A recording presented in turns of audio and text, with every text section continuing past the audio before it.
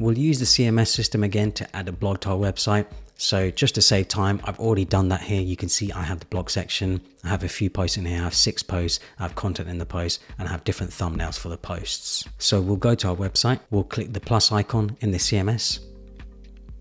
Go to blog and then click index and it'll automatically add our index page. We'll then copy over our navigation, hero and footer go to our blog index and paste that in. And then we'll just reorganize the elements. So we'll remove the blog text and then move our collection list underneath our hero. We need to adjust the gap and padding for this. So we'll first remove the gap and then make the padding zero as well. There we are. We'll change the width of our desktop to 1400, just like the rest of our website. And now we can start styling this. So we'll put a gap of 60 on our collection list. Actually, we'll change it to 80 for now. Change the direction of our wrap change the collection list to a grid because we want a three column layout for this blog section. Change the max width to 1240 and then change the collection list columns to three.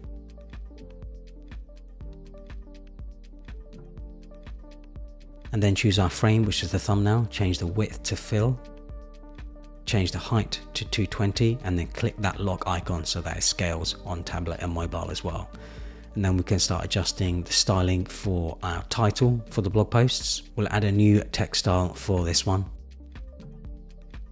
Rename it blog post grid title.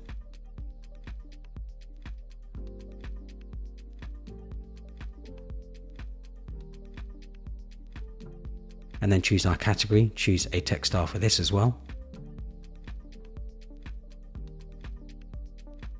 Change the color for this too choose our wrap, change the gap of our wrap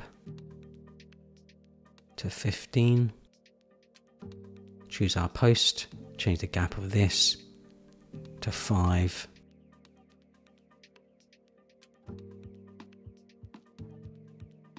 Choose our thumbnail, change the radius of it to 6. And then we can also add some padding to the bottom of our collection list and we're nearly there. It's looking pretty good already. What we need to do next is add a date for our blog posts. However, upon selecting a content variable for our date, I realized actually none of our posts have a date. So I ended up going back to the CMS collection. And then what you can do is you can edit fields and then you can press plus and add the date to all of your posts.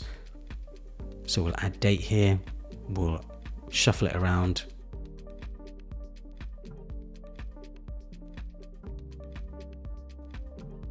And now when we add our date, we can set the variable to date. However, nothing was appearing. I was thinking, okay, this is odd. And then I realized it's because none of my posts actually have a date. So I went back to all of my posts and added dates to them. And now we can see our date. Our date is appearing under the category. We can change the styling of this. I ended up going for a medium style. I think it just looks better. And then we'll select our category and date and add a stack to it because we want it to be on the same line. So we'll change the direction to horizontal. We'll change the distribution to start. We'll change the width to fill, the height to fit content,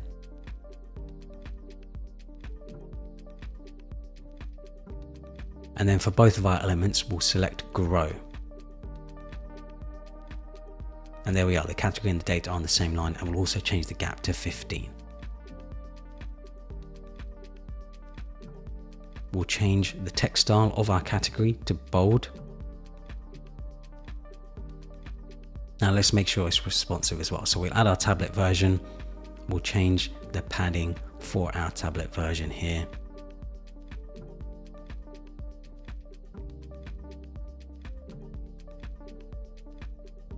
change the gap for the collection as well. then add our phone version.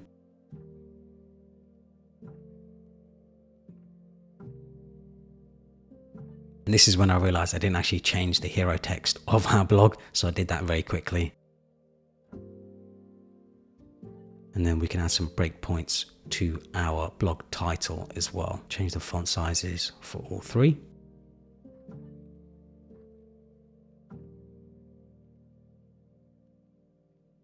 Change the footer to their respective versions.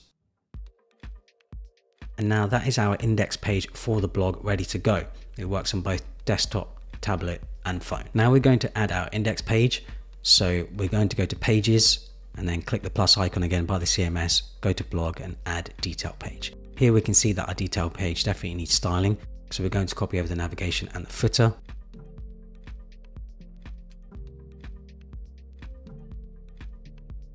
Paste that into our desktop shuffle things around.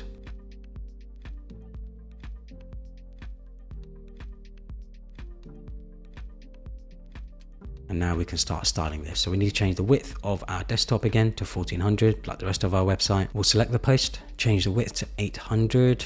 Actually, I ended up changing this to 900. I think it looked better, filling more of the page.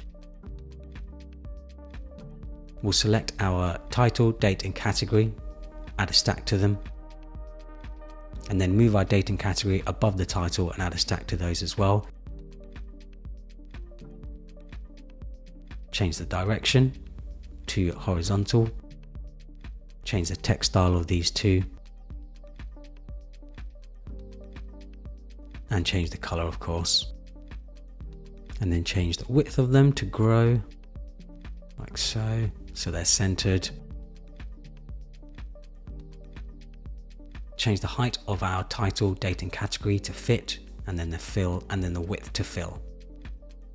Then we're going to choose our thumbnail and change the height of this.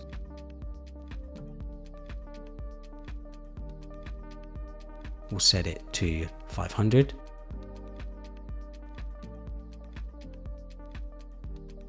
We'll remove the lock icon for now and then set the width to fill and then we'll click the lock icon again. Now we'll add our tablet breakpoint. Make sure that it looks good on there. Then we'll add our phone breakpoint too.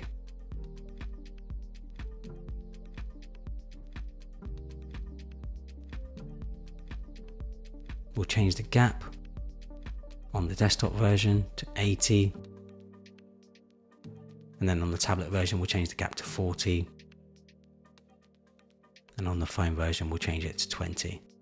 And there we are, that is our blog detail page also finished and responsive.